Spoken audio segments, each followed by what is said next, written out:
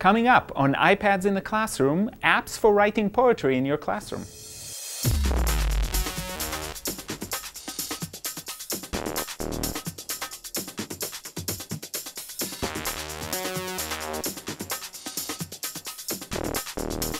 Hi, my name is Guy Trainin, and this is iPads in the Classroom from TechEdge, and today I want to talk about writing poetry in the classroom.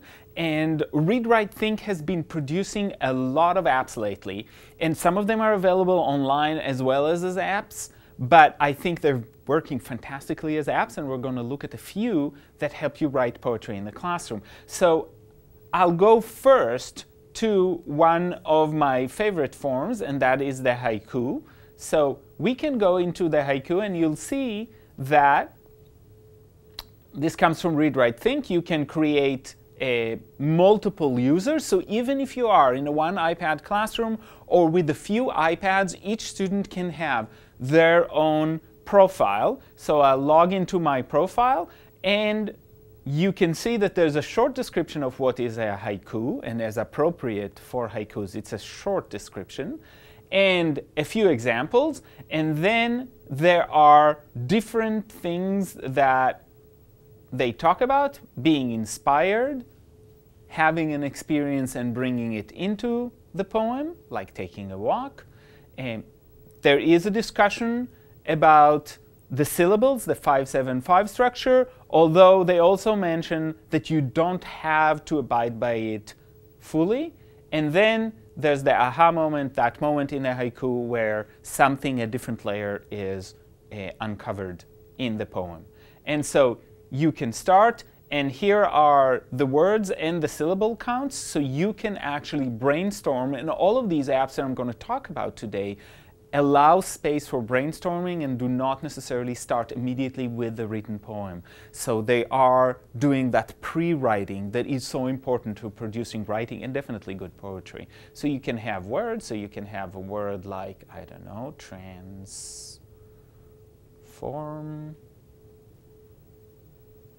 transformers. This is going to be a poem about transformers. And transformers has three syllables and another word that'll be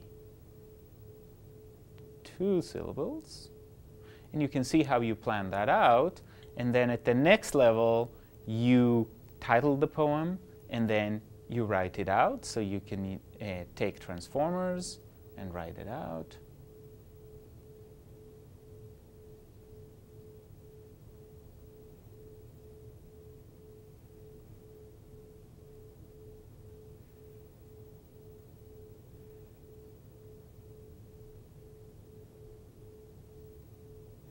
So I've created the poem. And now you can see that the haiku is created. And you can change the text style, different styles. I think this is the most appropriate. You can change the background or you can choose a new image to be the background. Um, I think this would be more appropriate for our haiku. And then you actually can save and you can save it temporarily so you can keep on working on it. So you save a draft or you can save it as a picture so you can actually send it. And what I love about the way they've managed the sending through email is students don't actually have to have their own email. They just do it directly from the app so they can send it they have to send it to somebody else who has an email the teacher or a parent or a peer but they don't actually have to use the mail app or to have an email address even. So even an elementary student in first or second grade can send it out as long as they have somebody to send it to. So this one is called haiku. And the next one i want to show you is called Diamante, and Diamante poems are poems with a specific shape, and they also have a structure to them. And this one, again, the same kind of multiple users, a, a short, a, a, short explanation of what diamantes are, and examples, so you can see examples that were done. This is a synonym and an antonym poem. And then you can start, and you need to create a title, This will be a poem about a tree. And then you need a, a beginning word and an end word. And the end word and beginning word are either antonyms or synonyms. Let's do uh,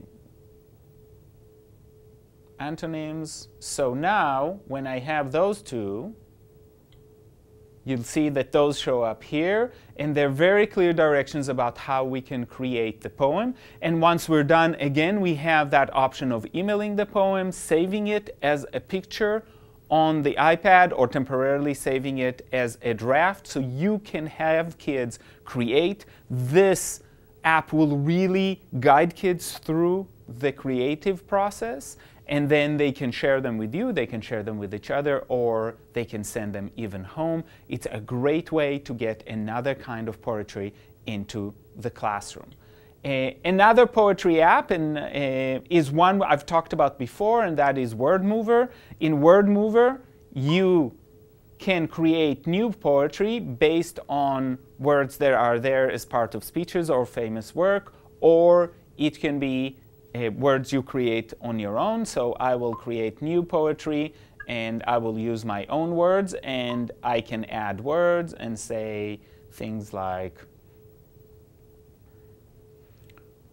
so I can add words and create this quickly. Or if I decide to, to go back, I can use let's say Shakespeare's Sonnet uh, 18. Now I have a word bank to work with. I can still add words if I'm missing them. And this is like working with poetry magnets.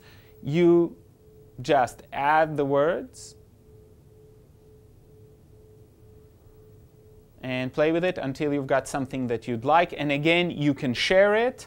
So I can share my poetry as a picture on the iPad or I can email it to whoever I want. Very quick and easy way to do some more free-flowing poetry, but have those vocabulary words come in and be helpful in spurring some creativity, which is much easier for most students and adults than facing the empty page and coming up with something out of nothing. So this one is called Word Mover. I've talked about it before, but I think that this is another good one to think about poetry. And the last one I want to talk about is called Theme Poems. And in Theme Poems, what you do is the app actually gives you a topic to write on. So you can choose the topic. And this is great if you're working with kids on ideas and you know that uh, they're not necessarily, uh, they don't necessarily have a sense of what they want to write about. This is an opportunity for them to choose a topic and then address it. And it has that shape. So this is very appropriate for working in elementary through uh, the grades. And you see you can select a theme, and I actually had an attempt of making a po poem about a square. And this is not easy to write a poem about a square, or at least for me. Um, it's just a square. But you pick up words, so you create a vocabulary uh, ba word bank. This is an opportunity to work on word choice and to work on uh, other concepts. You can actually bring geometry into this and talk about right angles, right? So that's another way to think about this. And you can take as few or as many words as you'd like, but here is where you actually write out your poem. So this is where you enter your poem and you say uh, something like,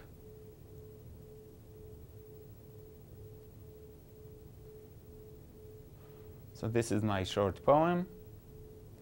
And if I finish it, again, I can save it as a draft, I can save a final and share it, or I can send it same way. So theme poem is a great way to get kids writing poetry about things that are concrete with the support of pre-planning, especially a focus on word choice. And poetry is such a wonderful vehicle to teach kids about words and about choosing the right word to evoke emotion or description.